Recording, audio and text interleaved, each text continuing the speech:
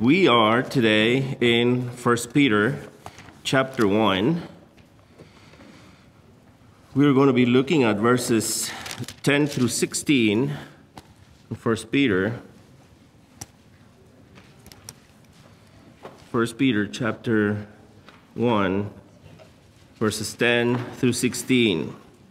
And it says, As to this salvation, the prophets who prophesied of the grace that would come to you made careful searches and inquiries, seeking to know what, a per what person or time the Spirit of Christ within them was indicating as he predicted the sufferings of Christ and the glories to follow. It was revealed to them that they were not serving themselves, but you in these things which now have been announced to you through those who preach the gospel to you by the Holy Spirit sent from heaven, things into which angels long to look. Therefore, prepare your minds for action. Keep sober in spirit. Fix your hope completely on the grace to be brought to you at the revelation of Jesus Christ. As obedient children, do not be conformed to the former lusts which were yours in your ignorance, but like the Holy, Holy One who called you, be holy yourselves also in all your behavior, because it is written, You shall be holy, for I am holy. So that's our, this is our section for today. And I don't know about you, but it seems to me as if the whole world, specifically the Western society, has taken the fast lane into everything that is evil and contrary to God. And in this era of endless information, it seems like less and less people seem to be aware of their spiritual condition and the gravity of their sin. And the reason is that more and more people are redefining their own truth, and they're appropriating this truth by creating their own reality based on their self centered and sinful desires. But the good news is that reality and truth are solely determined by God and not by man's intellect or ingenuity. In reality, every human being that is born after Adam's fall is a sinner in need of a Savior. And that Savior is, of course, the Lord Jesus Christ, who came to die on the cross for lost sinners like you and me. So, in our passage today, we are going to talk about this salvation and some of its implications. So, just as a brief recap, uh, Peter wrote this letter to believers in Asia Minor, and these believers were going through severe persecution from the Roman Empire. And in spite of these difficult circumstances and this severe persecution that they're facing, these Christians were not crushed by their difficult circumstances because they were actually looking forward with an absolute confidence to the resurrection that was promised to them. So, no matter what happened to them in this life, they had the certainty that the future was nothing compared the, the blessings that we're going to refute, uh, receive in the future were nothing compared to the sufferings. I'm take, I'm take it back. The sufferings right now were nothing compared to the future that was coming to them. So, in the previous uh, uh, sections of this letter, Peter has spoken about the salvation we have in Christ and the future hope of eternal life in heaven. And Peter also spoke about the trials and the temptations that sooner or later will, will, will come into our lives. And, and he also speaks about how believers experience this magnificent and overwhelming joy, even in the midst of the most difficult and painful trials. So now, in verses 10 through 12, Peter is going to demonstrate how great is this salvation that we have in Jesus Christ. Peter says in verse 10, As to this salvation, the prophets who prophesied of the grace that would come to you made careful searches and inquiries. So Peter begins this verse referring to the salvation he was spoke in the previous verse, which is the salvation of our souls. And here salvation, the salvation that Peter speaks about, refers to the salvation that believers have in the present that will ultimately be consummated in the future. So this salvation that was prophesied in the past by the Old Testament prophets is what is set in focus here. So, under the inspiration of the Holy Spirit, the prophets predicted the coming and the passion of the Messiah. The Old Testament prophets describe salvation as a grace that at some point would come, at some point in the future. Now, here there's a phrase that says, prophesied of the grace that would come. This phrase does not suggest that the prophets were looking forward to a saving grace that was not already in existence in the Old Testament time. The scriptures teach that God never changes, and therefore, God has always been a merciful and gracious God. So, this makes evident, this is evident through the scriptures. Let me give you uh, uh, three examples of this uh, uh constant grace and mercy that, that, that God has shown. In Exodus, and let's start in, in Genesis. In Genesis chapter 6, verse 8, we see Noah receiving grace from God. Then later on in Exodus chapter 22, verses 26 to 27, we read how Moses was fully aware of God's grace. And then in Jonah chapter 4, verse 2, Jonah acknowledges that God is a gracious God. These are just three examples to show you that from the very beginning, Salvation has been available for sinners always through faith by grace. The Old Testament prophets knew that somehow undeserving sinners would receive mercy and forgiveness from God. They didn't quite know exactly how, but they knew that this was the case.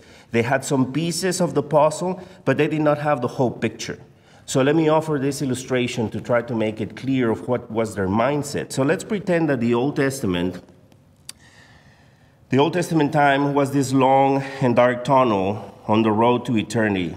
And there are some people in there that are walking toward the other end where they can see a very bright light. And in front of this light, they saw the shape of a man standing in front of the light. And this man is there standing with open arms, waiting for them. So the man is far enough that they cannot see his face or his features, but they know he's there, and they're close enough that they can hear echoes of his voice. And while they did not know his name or how he looked or any personal details, they did know and believed that he was the Messiah that God had promised to send to rescue them from the bondage of sin. They knew that much.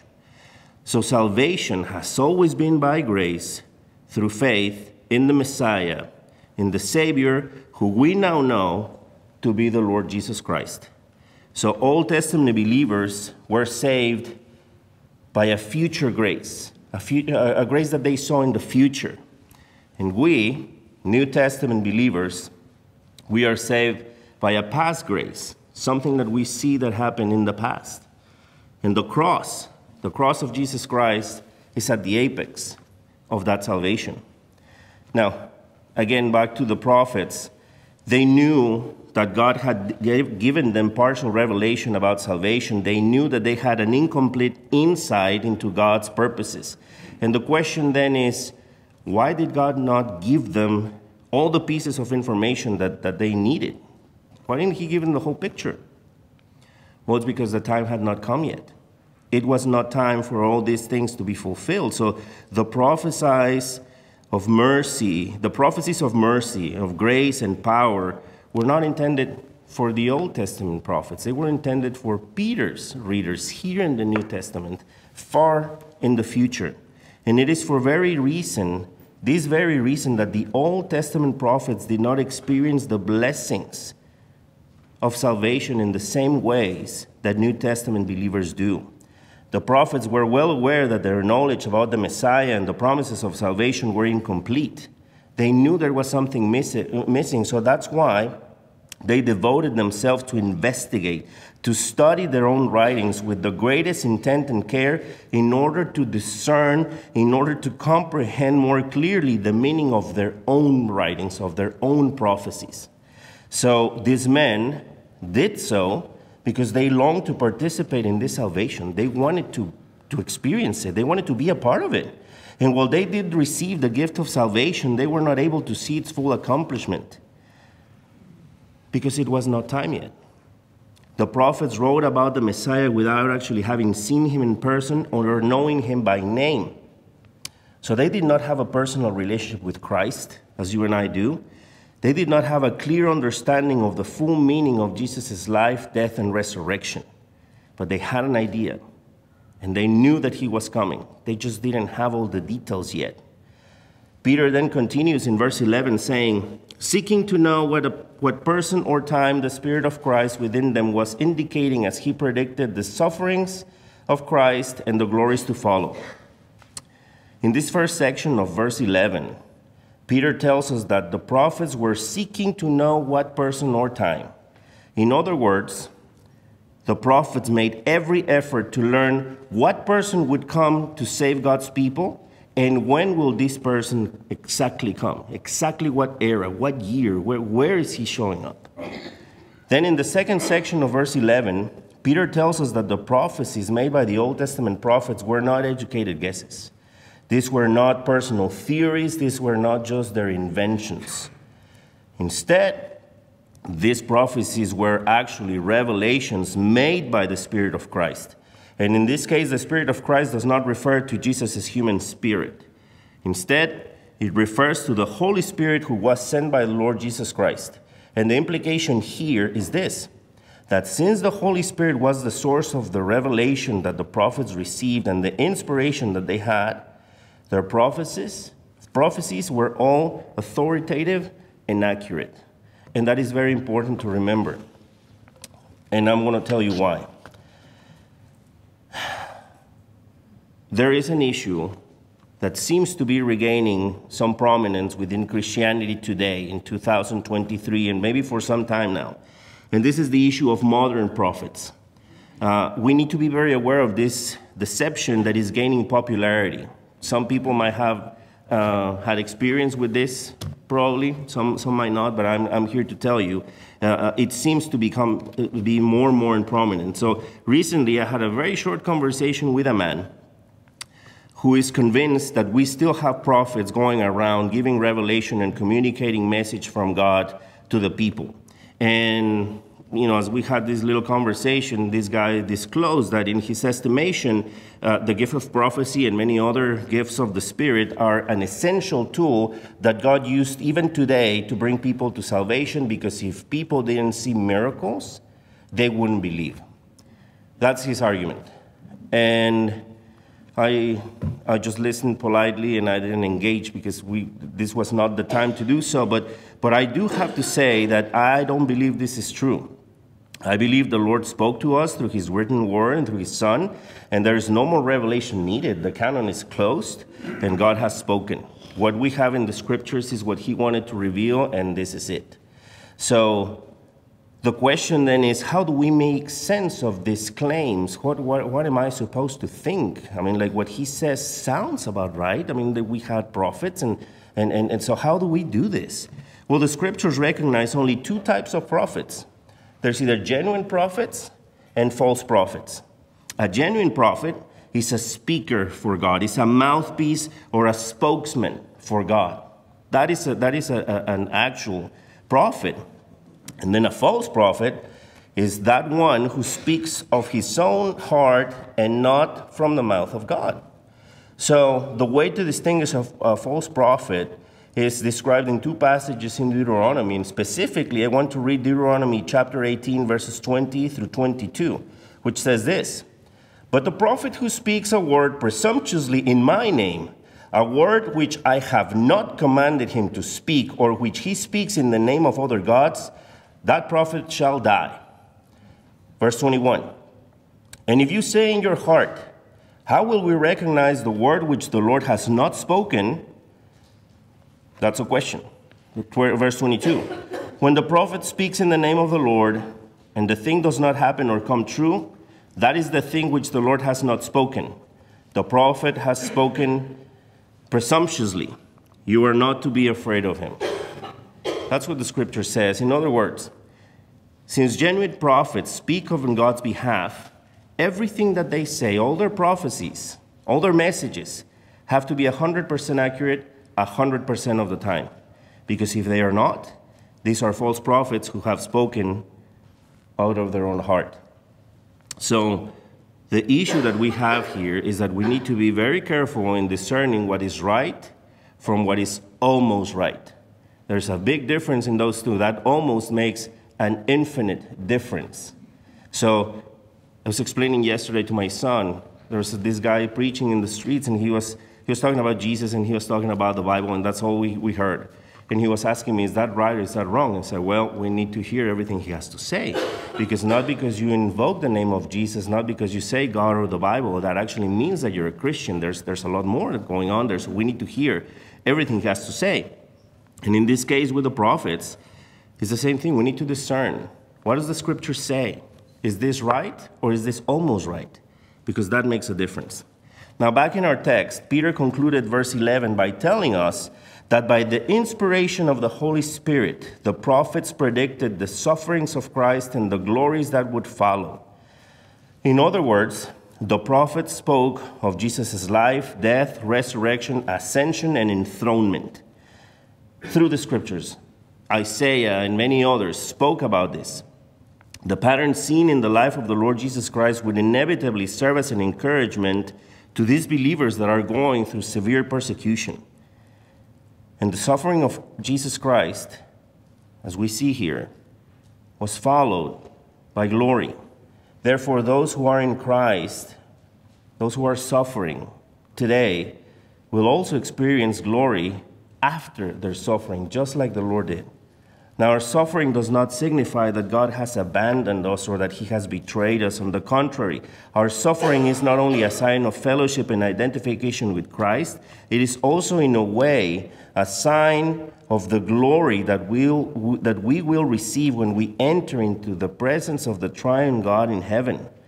So, Peter's readers back then and us today would be and must be encouraged by this reminded, reminding that the pattern that we see in the life of Christ is in fact the pattern of our lives. There might be much suffering today, but there won't be any in future. There'll be glory and peace and comfort.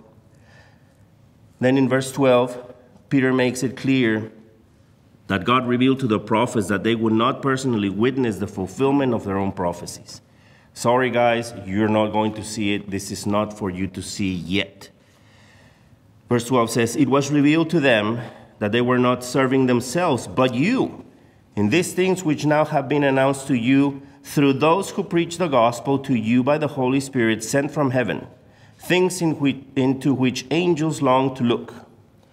So the prophets, as I was saying, they were, they were not serving themselves, they were serving other Christians, these Christians in Asia Minor, to which Peter was addressing in this letter. This is hundreds of years later. So, in other words, the Old Testament prophets were serving believers on the other side of the cross. And Peter says that those prophecies were now being announced to the New Testament believers through those who preached the gospel to them. So, these people that are preaching the gospel to them, of course, are the 12 apostles, who, just like the Old Testament prophets, were also sent by God with a message that was inspired and with the guidance of the Holy Spirit who was sent from heaven. And these prophets and these apostles were giving us the gospel all the way until now. They were both under the influence, guidance of the Holy Spirit. And now, I would like to speak briefly another issue that is of importance today that has to do with the Old Testament. Because as absurd as it may sound, there are some professing believers who believe that the Old Testament is no longer relevant. There are, there are preachers there coming out from prestigious seminaries that everybody thought that these guys were solid because of the education that they received or their, their uh, uh, uh family tree that dismissed the, the Old Testament altogether. And this view of dismissing or, or, or reducing the importance of the Old Testament is not only sad, it is also wrong and dangerous. The Old Testament points to the New Testament, and the New Testament points to the Old. So you can understand one without the other.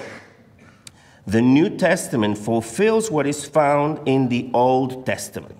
There is no way around. They are both equally important. We need to read them, we need to study them, we need to have them and understand them. They're both the Word of God. In fact, the point is made by the Lord Jesus Christ Himself in Luke 24, verse 44, where the Lord said this These are my words which I spoke to you while I was still with you, that all the things that are written about me in the law of Moses and the prophets and the Psalms must be fulfilled. Later, he's going to tell another group if you believe Moses, you would believe me because he wrote about me. So the Old Testament speaks about Christ. We cannot understand the new without the old. Therefore, the prophecies of the Old Testament are equally important as the proclamation of the gospel in the New Testament. We need to remember that. Now, back in our text, possibly in an effort to stimulate his audience's interest and gratitude, Peter says that the angels long to look or to reflect upon these truths of salvation that the prophets foretold. Now, we don't have a lot more going on here for this phrase. We don't know why Peter said it. Uh, we, there are people that speculate that this might be just to make things more uh, attractive or interesting for them. Um, so he throws this phrase there. So, what I need to say about this is that angels are part of God's creation. And, and the knowledge and the authority that they have is, is limited.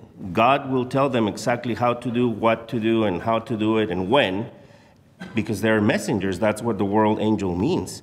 And while angels, of course, are, as I said, messengers of God who oppose demons and perform many divine duties, they are not made in the image of God.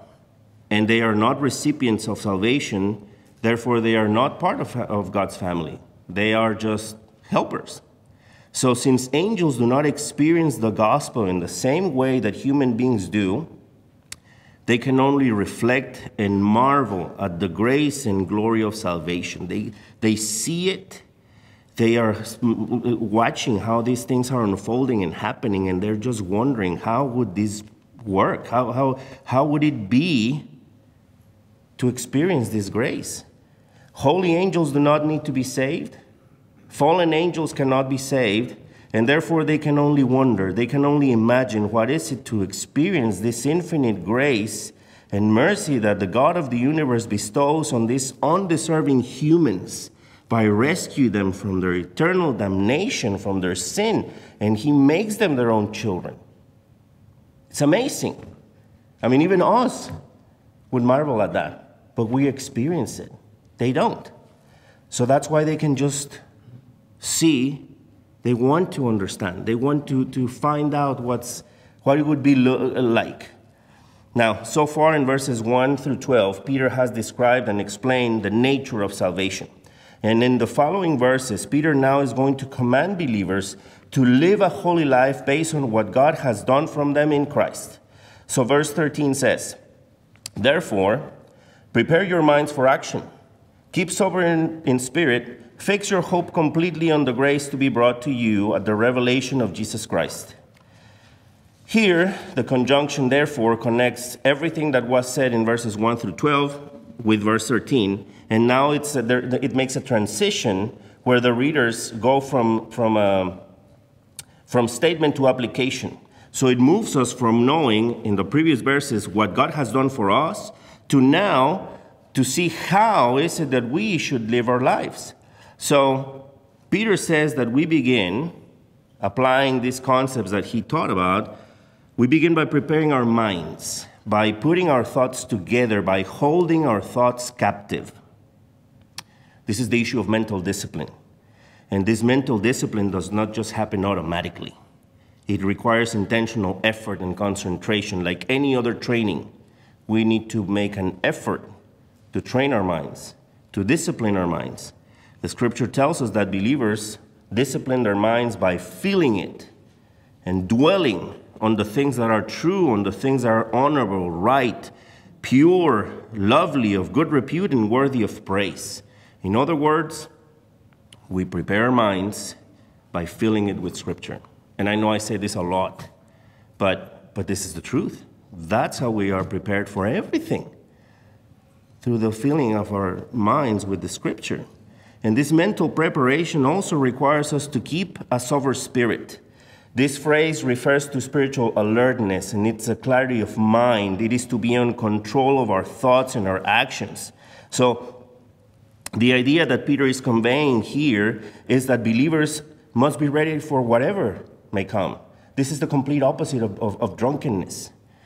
A drunk person is, is not, it, it, it's impaired. Their, uh, their, their, reaction is not as fast as it should. They're groggy. They cannot see right. They cannot stand right. They're not ready for anything. They're impaired. This is the absolute opposite. We need to be alert and ready for whatever may come. And here we must recognize that mental alertness and discipline are not the result of sheer willpower. It is not the result of our own ability or merit or effort. Instead, it is the result of the work of the Holy Spirit in our hearts when we fill it with the Word of God. The, word, the Spirit is at work in us. We feed our soul and our heart with the Word of God, and that's what the Spirit uses to move, to encourage, to, to, to, push, us, to push us forward. Finally, Peter concludes this verse with an imperative saying, Fix your hope completely on the grace to be brought to you at the revelation of Jesus Christ. Here, the word hope is almost equivalent to faith. The word hope, well, let me start with faith. Faith involves trusting in the present what God has already said and done in His Word. And hope is to trust in what God promised to do in the future at the second coming of Christ. So our hope is rooted on the expectation of a future reward, which is glorification. Is the time when God fully and permanently brings the believer into his eternal inheritance, which is eternal life in the kingdom of heaven in the presence of God Almighty. That's our hope. That's what we're looking forward to. And as we saw in previous lessons, it is this hope that gives us strength and gives us ability to endure the different trials and hardships of life. Peter says here that our hope must be complete, it must be unreserved. In other words, he's saying that there should be no doubt or no indecision in regard to God's promises for the future. We need to be certain of this and act accordingly. This is a promise that God made and He will fulfill it. There should not be any hesitation when we think about the future. That's what Peter is saying. Do not have any second thoughts about this. It's happening. We must not lose, sight that we have been justified in the past, we, have been, we are being sanctified in the present and we will be glorified in the future. There's three aspects to our salvation past, when we believe, present, when we're sanctified, being made more like the Lord Jesus Christ, in the future, will be glorified. So we must stay the course, however difficult it might be. We must keep looking forward to our, to the, our final salvation, which will be fully experienced at the second coming of the Lord Jesus Christ. Now, verse 14. In this verse, Peter says that there needs to be a difference in the way we live. He says, As obedient children, do not be conformed to the former lusts which were yours in your ignorance. So, one of the many differences between believers and unbelievers is obedience to God. Those who have been born again have been set apart, and now we have been blessed with the desire and the ability to obey God and to do the things that please Him if you think about your unbelieving years, how I can think about those things? I, I, it, it, hasn't been that long. It has actually been long, but it, it doesn't seem that long. Um, I didn't have any desire. I mean, I knew that there was a God. I knew that there was, you know, scripture, but I never actually felt the need or desire to read it, much less obey what it said. I mean, like I thought, I don't need to do that. I'm, I'm, I'm, I'm, I'm above that we don't have any desire, we don't have any ability. We are completely blind, spiritually dead, and that's all you can do, just lay dead. All right? But then when you are born again, you get this new desire, you get this new ability to believe, to obey, to, to, to, to follow the Lord. So, through faith in Jesus Christ, believers have been adopted into the family of God, and therefore, now we're all children of God. We belong to the family. So, why do I bring this thing of adoption into the family of God? Well, because like any other child, we love our Father and we want to please Him through our obedience most of the time. Because unfortunately, our obedience is far from perfect, just like our children. And even the most devoted child, even the most devoted Christian, fails to obey 100% of the time, just like our children. Even the best of our boys or girls doesn't obey all the time. So, this is because we are still battling the flesh. Sin is powerful and enticing, so the threat of departing from God through our disobedience is always present. I remember, this has been many years, Mark Newman was giving a lesson where he says that we're all a second away from falling. And that, that stuck with me because he's right. You know, we're all facing temptations and we're just a moment away from falling into that temptation, whatever that might be. So, before I continue, let me just make something really clear in saying that a person does not become a Christian through obedience. Because as I said, if you're not born again, you cannot obey. All right? You cannot obey your way into salvation. What, what makes us a Christian is our trust and our faith and our love in Christ. So, love, faith, and trust in the Lord Jesus Christ is actually what produces obedience in us believers. Now, all of us who have trusted Christ for the forgiveness of our sins are called to resist these ungodly desires and temptations and choose what is good. And in this verse, Peter urges his readers to not be conformed to the former lusts which were yours in your ignorance. Peter is telling us to not be shaped by all the sinful thoughts and unrighteous desires that characterize our lives before we were born again. Paul said in 2 Corinthians chapter 5 verse 17 that believers are a new creation and that the old things passed away. So through regeneration, God creates in us a new life and a new desire and an ability to live according to God's word. We have the desire to be with God, to know who He is, to learn from Him, to follow Him, to obey Him. Life, I'm not going to deny it, is hard, and many of you have gone through a lot so far. And we are surrounded by a myriad of temptations daily, everywhere. We're being bombarded with all sorts of messages that are trying to entice us and to move us away from the, the from, the Lord. But believers must not continue living eh, eh, eh, and behaving as they used to be, as we were, uh, as we were fallen creatures in the world. We need to act as according to who we are today, which is believers in the Lord Jesus Christ.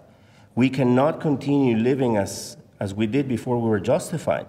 We must trust and obey the Lord. That's what we're called to do.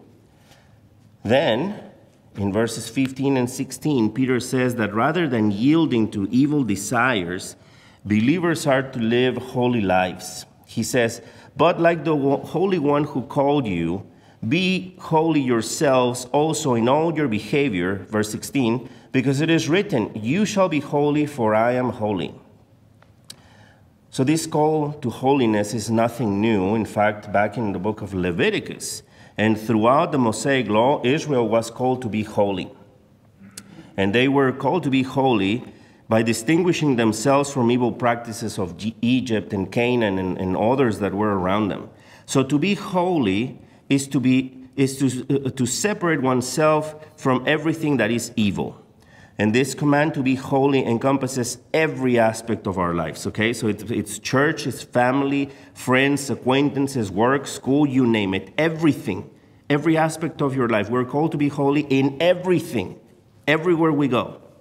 There is not one aspect of our lives that is exempt from this command. And here, we need to pay attention to the Greek word kalesanta, which is translated as cold. And the reason why we need to pay attention to this is because, in my estimation, this word uh, um, manifests the infinite power of God. Because kalesanta or called refers to God's effectual calling through which, God, through which He brings people to Himself. This is the same calling that brings God's children out of darkness and into the light. This is the calling that brings sinners out from spiritual death into eternal life when he says, Follow me. Lazarus, come forth. That is the calling. Let there be light. This calling is the calling that is, is, is in view here. So, as you can see, this calling is not just a mere invitation, it is an irresistible command that we're capable to obey only by God's grace. Throughout our history, God has called his people to be holy. He has called us to live differently, to separate ourselves from the evil desires of the world, and to live in a way that is pleasing to God. So, God Himself is the pattern of holiness. God Himself is the pattern of our lives. Our sanctification is aimed to make us more holy, to make us more like the Lord Jesus Christ. So you see, this is a consistent pattern from the very beginning. And it is our relationship with the Lord Jesus Christ that compels us to love Him and serve Him and pursue this holiness that He requires. And by grace, God gives us the ability and the willingness to obey what He commands. So you see, we don't do this on our own. This is not our own willpower. This is not just us against everything. It is God with us. He's carrying us, He's encouraging us, He's pushing us forward, He's shepherding us. That's the encouragement that we have. So let me close with an illustration. I hope it's a good one.